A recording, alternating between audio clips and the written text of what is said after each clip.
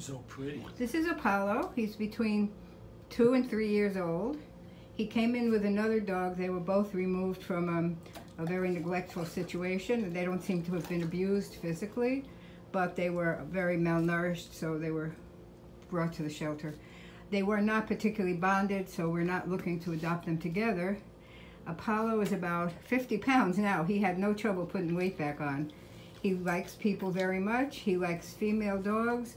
I suspect he likes neutered males as well. Um, he still thinks that it's his last meal. You know, you can't very well blame him for that. So he's always looking for a treat, but he's learning to take them very nicely, as I just noticed. Oh, look at that. And he knows give paw. I wondered about that.